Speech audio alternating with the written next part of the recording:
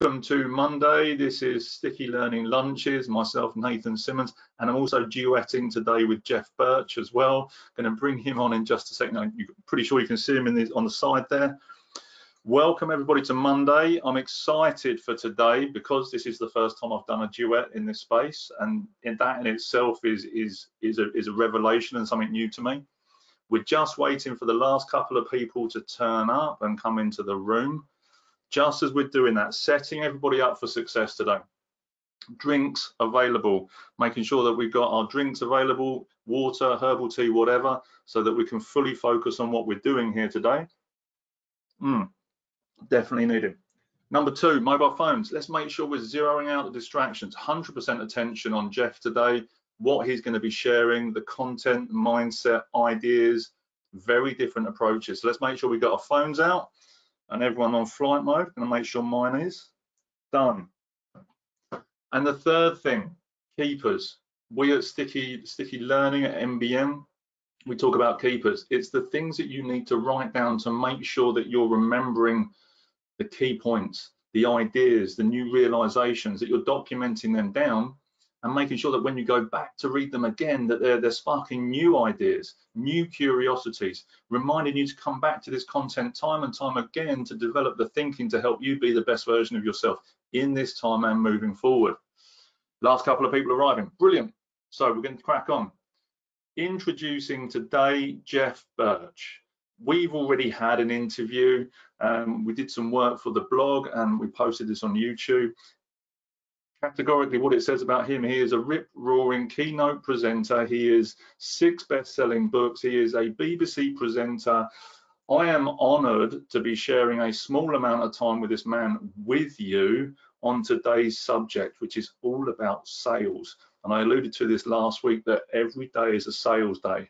And this is why we've got Geoff here because we've led him from coaching skills into personal development that then leads you into job interviews pitching, projects, sharing ideas. Every day is a sales day. And we're hoping with the content of the next four days from Geoff, that we're going to get this skill set embedded, this way of thinking to help you develop, deliver, and overachieve. So welcome to today's training. Final people in, welcome to MBM, Making Business Matter, the home of sticky learning. My name Nathan Simmonds, also with my friend Geoff Burch. These sessions are all about helping you be that best version. Let's get on with today. So Geoff, bring Geoff back in. Geoff, welcome to Sticky Learning Lunches. Hello, hello, how are you? I'm marvelous, how are you? I'm nuts. I've been driven nuts by the shutdown, so I'm I'm un, I'm doing unspeakable things. Like doing these virtual classrooms with me. Yeah, well, yeah, yeah, but you yeah, and other things. well, look, I'm in charge of the whiteboard today, so we're going to be covering three key points, myself and Geoff, with you there, um, listening in. Um, today, predominantly, we're going to be talking about what is sales, the sales mindset. We can, and also be talking about part one of this cunning four-stage sales plan. And I'm conscious of time because these sessions are very short. They're micro learnings, they're quite intense, and Geoff likes to speak for a lot. he gets paid for this, which is what you know he's good at it. Geoff, look for you, for you know the wonderful people that have arrived. Stuart, thanks for very much coming again. Tim, amazing, seeing some new faces and exist and, and regulars as well. To you, Geoff, what is sales? Well, everybody. Sales is applied to everybody. Sales certainly shouldn't be the province of salespeople. what actually, let me tell you something. It's not about selling, it's about moving people. Okay? It's about moving people from one place to another in their mentality. We're in a world now where we can't just tell people to do things. I mean, at one time, doctors had this power that people respected them. So they would say, listen, old chap, give up smoking or you'll be dead. It was very simple. But now, if you're a doctor, you know where your patient is smoking. You know where you want them to be is not smoking. And that's a sale. It's moving that mindset from wanting to smoke to wanting to be alive. You know, eh, so we are all in this business. Maybe we'd like a job. So we're moving the person we meet from, I don't like the look of this bloke, he looks shifty, to this is exactly the employee we need for this business. And that is a sales process the world over. You know, whether it's we're trying to persuade our kids to stop picking their noses or whether we're trying to get an employer to give us a job. We need to move people Yes, and I'm just thinking it, you know, like stopping your children from picking their nose or going for a job interview. It's the same tactics that we have to employ. We have to remove the objections from the individual so we can get where we need to be, oh. but they need to get where they need to be, which is now, you know, with us. You're showing signs of old festery. Good. Old festery sales habits. Objections. Now, I do not like objections because I like the people I persuade. They're my chums. I persuade my wife, I persuade my kids, I persuade the people I work with. Objections is combative and aggressive. I much rather think of them as concerns. So, my wife says, Where would you like to go for holiday? And I say Mallorca. And she says, I don't want to go to Mallorca. Why? Because you'll spend the whole time in that boat and I won't see you. So I go, okay. Now she isn't. That's not an objection to Mallorca. It's a concern. She's concerned that I it she won't get the holiday that she wanted. So I was I will come to some sort. Of, Oh, well, I'll tell you what. Why don't I go for a sail before breakfast and then spend the rest of the day with you?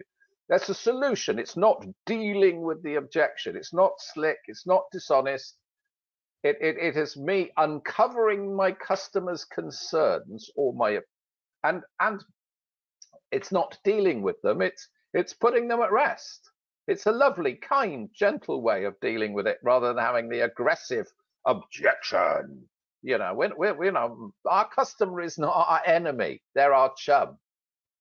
Absolutely. And you know what? Every day is a sales day and every day is a school day as well so thank you Geoff it's appreciated. Just to bring the the the, the the audience for the want of better words into this. You know what concerns are you helping or or what concerns do you need to be thinking about in your current projects in your current endeavors? What concerns have you got coming up that you would like to overcome work with and incorporate into your dialogues? Let's see those in the question box just so we can get a flavor of what's going on for people and start coming up with some ideas to help people incorporate this thinking into helping them move forward. Have you got a job in hold on two seconds. So have you got any job interviews, projects, or, or sales you're, you're doing for the audience that you've got concerns coming up? Another important thing, especially like job interviews or anything else, is if if you think about them as objections, they are often difficult to uncover. So they they they might say, I'm not sure we can trust this bloke, but they wouldn't say that in the job interview. They say, Well, thanks, jolly, well, very nice, very interesting talking to you, and we'll let you know in a few days. Well, I need to find out. I've got to start asking some pretty careful questions to find out, you know, just because I just because I've been nicking their ornaments and they've spotted it on their their security cameras. Is this what's putting me off the job? You know, whatever it is, I need to find out. And again, you know, too expensive. You know, too expensive. I mean, uh, we we we love we love your product, but it's too expensive. That we need to ask some very gentle questions about what do they mean by too expensive.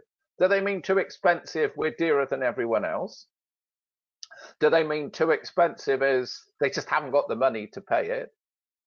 Too expensive under the current proposition I put, it seems unfair that I've asked the price. You know, I need to under I need to take apart too expensive. Because if I say no, we'll do it cheaper, that just means that hasn't dealt with their concern. It's just me panicking and knocking money off, which is always disastrous. And like you say, yeah, when you're going with this idea of it being combative, you're already creating a level of resistance, which is going to kind of um, um, demean the conversation that you're about to have. So valuable lesson in this for everyone. Objections, change into concerns, ask better questions to find out where the concern is coming from. And Just, also, they can be signals. We don't, because particularly me, I talk and never listen to anybody. It's it's my biggest failing because I love listening to me. but you, you get a customer that says, under the current climate, we couldn't possibly afford this. Well, I didn't listen. I I heard him say he couldn't afford it, but what I should have heard was him saying under the current situation. He has given me a signal saying that if I could change that situation, he possibly could afford it. He's not saying no. He's signaling that there are there are situations where he would. So we and need to listen to signals as well those signals are the other opportunities which actually make you a more viable candidate, make you a more viable provider of a service if we're looking for the signal rather than looking for an objection. Uh, objection. Yeah. Amazing. We're already jumping on to day three's content. That's the only problem with this part of the conversation, Geoff. So we're already running ahead. So just in the questions box, we've got a couple of things here. Vanishing prospect syndrome, um, you know, challenges that are coming up get on board with a project. So we're wanting to help people get on board with projects. Potentially got a job interview, identifying the questions to ask so I can cover the issues. Absolutely. Um, and we're going to look at some of those, and especially that last one about what questions to ask. We talked a bit about this earlier today, Geoff and I. Let's get into let's get into part one because I'm conscious of time. We get into part one of this cunning sales plan. Can I give the little bit of background on that then? Of course you can. Bring it when I was when I was a kid, I was a real smart. I still am a smart ass, to be fair, but I was a real smart ass, and I was a natural persuader. It's a thing I'd got from school that I'd been expelled from a three schools. I should have been expelled from six. I could usually talk my way out of trouble, and and it just meant sales was the thing to do, you know. Uh, off I went flogging stuff, and it, it, it was just I was a dodgy geezer flogging stuff, and good figures. Um, and a sales manager, an old hard bitten monster, said, You're just a shambolic mess. And if you don't do what I tell you, I'm going to fire you. Even though you're our highest earning salesman, you could do better. And he gave me this piece of paper, and on it were four, he said, This four stage plan. It's not my invention. He said, If you don't follow those stages, you're sacked. And the first the first one was have you know the first question was um, you know why am i making this what is my objective have have i achieved my objective you know and that that that is the sort of first one you know and, you know I, I work with salespeople now, and so many of them have absolutely no objective. Yeah, they think they have, I, I sit I sit in the car and say, why are we here? It's one of our best customers. You know, one of these guys had been on a on a sales course, um, was on a sales course uh, called um, relationship selling. So I said to him, what are we doing here? And he said, oh, this is one of our most important clients. We have a fabulous objective, a fabulous relationship, I mean. I said, oh, brilliant. I said, what are you going to sell them? Oh, shh, shh. I don't want to sell them anything. Why not? I don't want to spoil the relationship. Uh, why, why are we here? Oh, to see if they want anything, to tell them about our new product, you know? Well, so, so many times we either have no object, no reason other than we have been told to go and see potential customers and tell them something about us and see if they want anything. And one of the keys to this is we fail to measure success. I mean, you go to see you go to see a customer and come out and I say, how did you get on? Now, if I'm your sales manager, you will answer fabulous, fantastic. Well, how, how, how do you work that out? And the reply is usually they were very interested. Or if you've been in the game a long time, you abbreviate that to VINT. So on your sales reports, it says VINT. and whose fault is this? Sales managers, in, in back in my misty day, some of them actually had call rate. I want you to make eight calls a day. I'll know you ain't working unless you make eight calls a day. And I was sitting in a reception once, and uh, a bloke came to a skidding halt and knocked on the window, and the receptionist opened it. Hello, uh, what can I do for you? Can I see your buyer? No, he's busy. Oh, give us a compliment slip then, love. She gave him a compliment slip and he waved it at me and said, nine today, nine today, and buggered off. So when, so when he reports to his sales manager, he's going to have 10 compliment slips. His work, his work ethic is unchallengeable, but he was a crap sales. you know, and again, why are we going? What are we going to do? And how do we measure the success of that call? Let me jump in here, Geoff, because we've already got some points here of, you know, what are the concerns that we need to, that are coming downstream, and we've talked about those in previous sessions. And it's an interesting, you say, ch changing that objection into an objective almost, you know, in for the people that have already put the answers on or the, the responses previously, what is your objective from these conversations, from the project you want to get people on board with, you know, the potential job interview, identifying the questions. What's the objective that you want to get to? Let's see that in the questions box, just to get the flow of thinking. Because when you know what the objective is, you can start identifying the right questions to be asking. You can start to see the impact that you want to create in the business that you want to go and work in. The question you need to ask yourself is, what am I doing here? I mean, what what is it I want? And and again, I've seen the, the classic is the ambush. I, I love the ambush. Um, you you arrive because you've been sent to visit potential customers, or perhaps you're working for yourself. You have absolutely no hope of selling anything because you haven't sold anything in the last eight calls. You've been chucked in the street. you knock on the, can I see the buyer? I, I'll just ask him and she gets your name completely wrong. What's your name, Jeff Burt? Hello, Mr. Jenkins. I've got a Mr. George Brunch, Jeff Burt. George Brunch to see you. Oh, yes. He says he can spare you a minute. Would you like to go and sit down? So you sit in a squidgy chair with your knees above your ears, or your sort of box on your knees. And th there's a tip to anybody watching this never accept a drink, ever ever, ever in a call accepted. Do you know why? Because your entire call that you've planned so meticulously after listening to me is now dependent on how hot that ghastly drink in the plastic cup is. You know? Yep. So you get the order, you're sitting there and they go. So I would finish your drink before you go.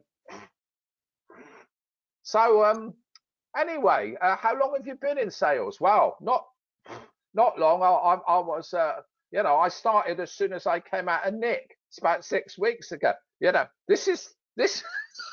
this is the time when the bad stuff. But in this case, you're sitting, you've got all your stuff and you've got this red hot cup of coffee, and then you hear these footsteps click, clap, click, clap, click, clap, click, clap. Smith, how do you do? I've got, I've got 30 seconds. I've got a meeting. Tell me a bit about your business. Oh, oh, right. Okay. So you pour boiling boiling hot mud in your crutch, which is, you know, and then your sam your case bursts open, your sandwich, your spare pants, your leaflets, and you start gabbling crap at this bloke because you aren't in control, you haven't planned it, you didn't expect to see the buyer because you always think you won't.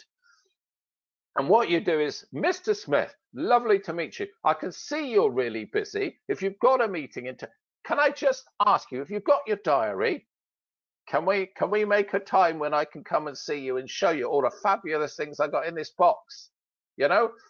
So what was my objective? My objective, if I'm cold calling, is to get proper time to do a proper sales call. I am not mm. going to sell my atomic power station with a crutch full of hot chocolate and my leaflets scattered around their entire reception with a bloke who's too busy to talk to me. You know? And it's the same. If you meet, I, I see sales people, oh, anybody, but I see reports saying time waster, tire kicker, not interest, this, that, and the other. Didn't meet the decision maker, but it doesn't matter. You don't have to see the decision maker. One of the key objectives is to get the person you meet to give the highest possible thing that they're allowed to.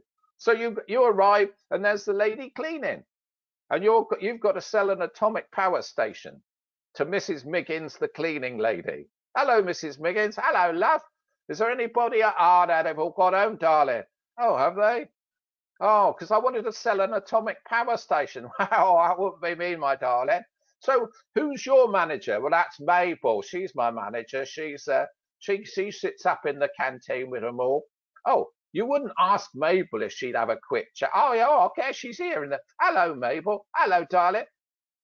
Who's the buyer for atomic power stations? That's John. Oh, yeah, we've been, uh, yeah, me and John have been going out for quite some time, you know. That's, that's, that's the whole key to this. You know, that, that the ability to, to whoever you meet will take you the next step up. That, that, that's the objective.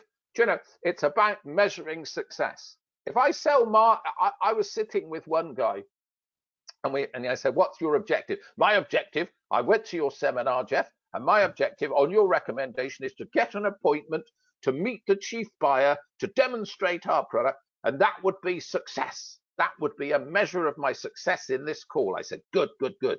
We arrived. The buyer said, Oh, hello, lads, I'm a bit tied up, can't stop. Here's a check for 50 grand. Get the stuff delivered next week. And we and he went. So we're now sitting in the car with 50 grand and I said, So that's a failure then? He goes, Well, I suppose it is really. I said, Don't be an idiot. Mm-hmm. I said, Success must be achieving your objective or a sale. What's a failure is doing nothing, no measurable forward motion. That's the point. Not, not, hello, hello, John. Anything this week? No. All right, mate keep in touch. I'll keep in touch. Have you made your mind up? No. All right, mate. I won't push you. Give us a ring. That is a failure. It goes on week after week after week when nothing moves forward. You know, did you get the samples? I don't know. I'm not sure. I'm a bit tied up at the moment. I'll just check if I've got them. Well, if you've got the samples, give them a try and give me a ring. I will. So he writes in the report when get sample will call us. Be interested. No, he isn't. so look, yeah, I'm conscious of time. We're hitting 20 past one already. So look, so what I've captured already from what you shared, one is what is sales? You know, it's about moving people from one place to another. You pick me up on the objections language, which is marvelous, old school combative, whereas we need to change those objections to concerns so that we can start to look for more signals to build the conversation and making sure that we have an objective in that conversation. So whoever you're speaking to, whether you're building a project, whether you're selling the atomic power station, whether you're um, going for a job interview, whatever it is, that whoever you speak to, you've, you've got a quick fire response or, or, thinking process that helps you to speak to that individual that's going to help you speak to the next individual. So you can lay those breadcrumbs all the way to the person and build the relationships all the way through the organization to get to speak to the person you need to speak to to create or, or move towards that objective that you set to make sure you're winning the day i couldn't have put it better myself well you're a you genius you and I did a very good job, I think. So look, I'm conscious, I'm conscious these ideas are scalable and transferable. So now whether it's you're selling a product or selling yourself, what do you want to get out of the conversation? Where do you want to get to? So open question for everyone right now. What have you got out of the last 20 minutes that's useful, that is applicable to what it is you're working on at the moment? We're going to wait for those questions or those responses coming. What have you got from today's session that's useful, that's going to help you get to where you want to be? we'll just wait and see, wait for those responses to come in. We've got a combination of Geoff is nuts, hilarious, and a guru. Love that.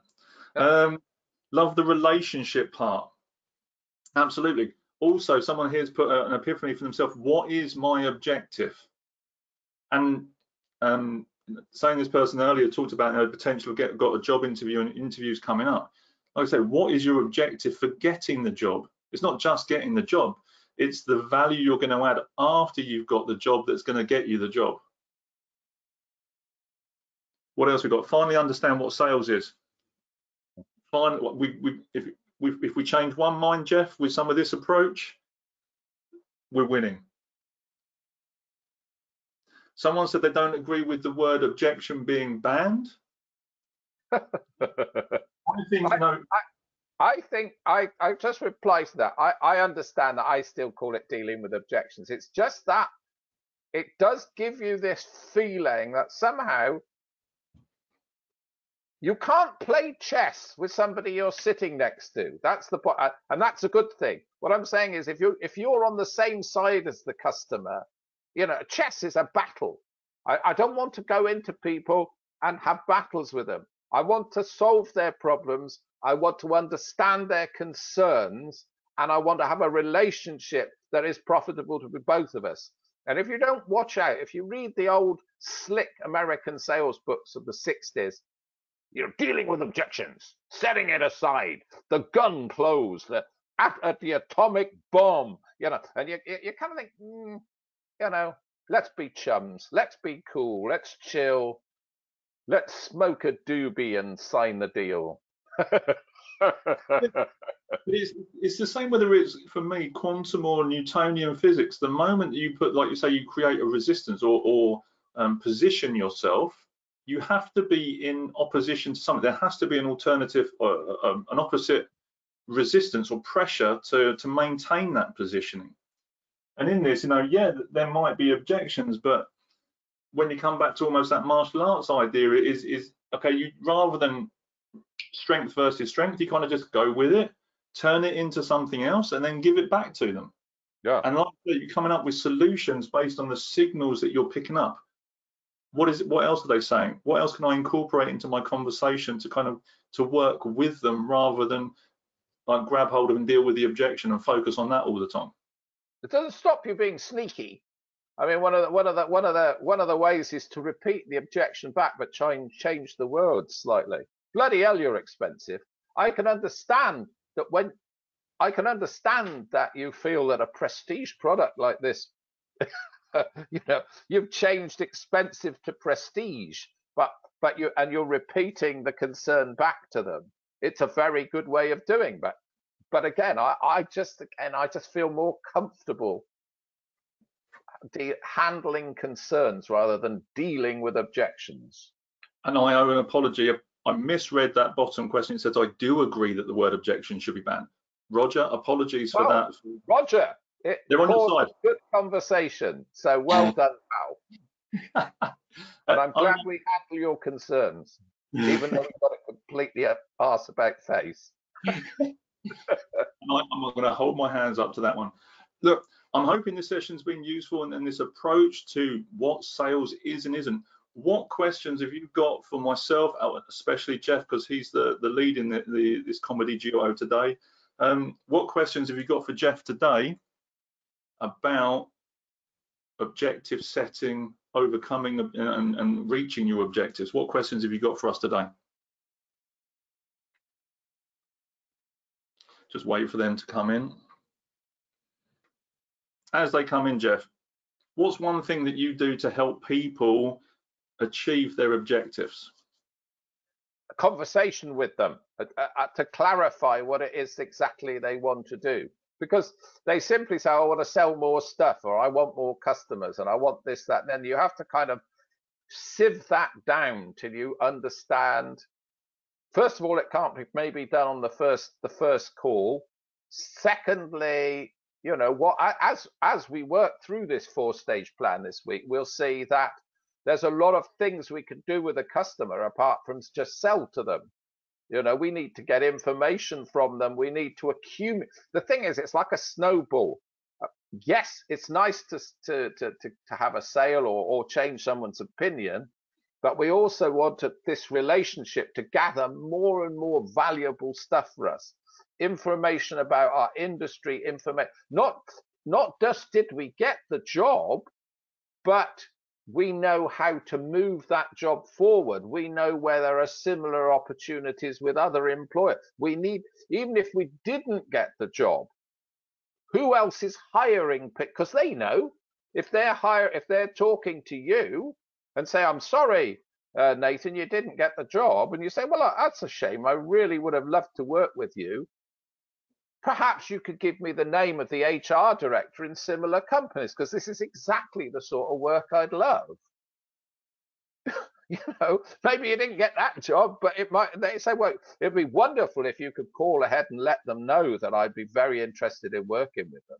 Yeah, I don't know. I'm talking bollocks now, but you see, but it's not just the opportunity, the narrow opportunity in the person you're speaking to, but it's the broader opportunities. If you're talking to a farmer, and you're selling him, I don't know, some piece of agricultural equipment, he will know every farmer in the county. He drinks with them. You know, it's an intro into his whole industry if you ask the right questions. So your objective may not be just to flog him the harvester, but it's to gather intelligence about his whole industry so that you can get intros into other farms. You know, his nephew might have the biggest farm in the county. Question that's come in here, Geoff, one is, should you have a, a sliding scale of objectives? So if one doesn't come off, you have another and another and another. 100 percent definitely definitely you should. You, you, yeah that's a brilliant question house point for that. Um yes I, I, absolutely you should have fallbacks. If i if the guy doesn't give me a check for 50 grand what else do i want to know you know what can i diarize you know um well, we, we're not going to invest in a new machine this year. We, we hadn't really budgeted, you know, we've only just installed one, so we wouldn't be looking for another 12 months. Well, blow me down. He's going to get a phone call in 12 months' time. Yeah. 11, Here's another little tip, by the way. You don't look stupid if you write things. Um, I, that's another thing I used to do. I used to sort of clasp my knee and gaze into the customer's limpid blue eyes. It's not a great idea, that. You can actually you can act like the coffee you shouldn't accept times your sale. You can actually time your own sale by saying excuse me can i just make a note of that? Did you oh next year which what what machine are you using currently? Mm-hmm okay just make a note of that. People actually make it actually weirdly makes you look at intelligent if you stop the sale and say can i just make a note of that let me just take those details down it makes you look extremely professional and it ends up with you having a pile of notes and information. That's a great objective to have, have loads of background stuff about what's been going on in their industry and other people's industries. And then if if you don't get that job or that sale, actually when they introduce you to the next one, you already have a whole a whole load more meat on the bone to have the rest of the conversation that actually closes the deal on the next one. Rather than being in combative or frustrated because you didn't get what you thought you were meant to be getting actually you've got those secondary gains which then becomes a allows you to pace it. In the old days when people smoked pipe smokers were really annoying pipe smokers would spend ages dotting the pipe and packing the tobacco and and it was a kind of way these people would use to time their conversation with you. They were in control because they had this thing, and you can do the same by writing things. You should be in control. You should not lose control of your customer. Uh, I, if we had a longer session, I'd do my little thing about trying to sell a tank to Genghis Khan. I mean, some customer, well, a lot of customers and job interviewers and potential life partners can be very intimidating. And because they're intimidating, they will screw up your objective by so you walk in and you think, well, I'm going to talk about this. I'm going to arrange a meeting. I'm going to get a demonstration. I'm going to do this. I'm going to do this. And then I'm going to close the sale. And they go, how much is it? They, what? How much is it? I mean, there's no point in talking anymore unless it's, you know, unless I know the price. You go, um, well, I, I, I, uh, I hadn't planned on getting to price yet. No, come on, come on, how much is it? it um, and you've got to say, Mr. Smith, hang on, let me just make a note of that. Mr. Smith, price is something I understand is very important, but I just want to show you this before I get to price. I will be dealing with that. You've got to stay in control. Otherwise, you get booted about all over the place. You end up back in the street wondering what the hell hit you.